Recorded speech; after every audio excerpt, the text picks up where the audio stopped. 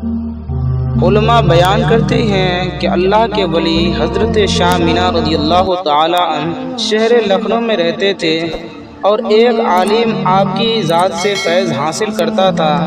एक मर्तबा की बात है कि एक अंग्रेज़ अफसर अपने चंद पुलिस वालों के हमरा आपकी खिदमत में हाजिर हुआ।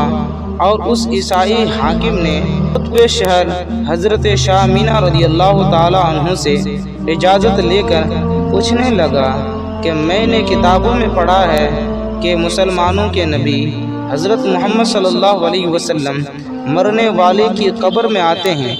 क्या ये सही है? तो हज़रत शाह मीना रदी अल्लाह तु ने फरमाया, बिल्कुल सही, व दुरुस्त है। अल्लाह ताला ने अपने महबूब मोहम्मद सल्लल्लाहु अलैहि वसल्लम को ये ताकत अता की है कि वो हर मरने वाले की कब्र में तशरीफ़ लाते हैं। अंग्रेज़ हाकिम ईसाई अफसर को गुस्सा आ गया और तेवर बदलते हुए कहने लगा कि मुसलमान अपने नबी से झूठी मोहब्बत रखते हैं। नाजरीन, तुबे वक्त अल्लाह के वली हज़रत शाह मीना रदी अल्लाह तन जलाल में आ गए और इरशाद फरमाया कि इस वक्त क्या बज रहा है?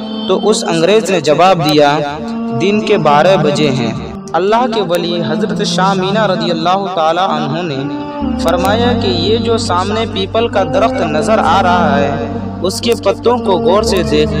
जब अंग्रेज़ अफसर ने दरख्त के पत्तों को बगौर देखा तो हैरत में पड़ गया कि हज़रत शाह मीना रदी अल्लाह तु सामने बैठे हैं और हर पत्ते पर भी नज़र आ रहे हैं बैठे हुए।